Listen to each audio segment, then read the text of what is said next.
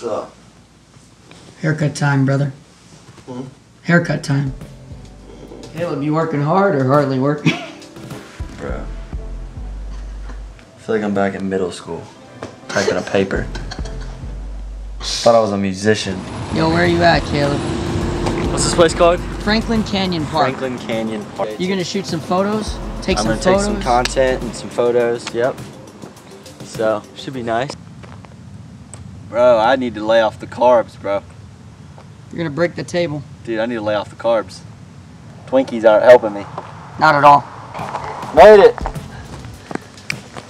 How long have you guys been out here? Like three hours. I'm just kidding. I'm Well, just it's kidding. nice to finally meet you in Yeah, person. nice to meet you. He's like doing a bunch of. Amazing. How are you? I'm good. How are you? Good. I'm good. I'm good. Oh, this is Russ. What you getting ready for? I want to see the Lauren Spencer Smith show, bro. Nice. Good. I'm excited. I got a haircut just now, so I'm really trying to shape it up, you know.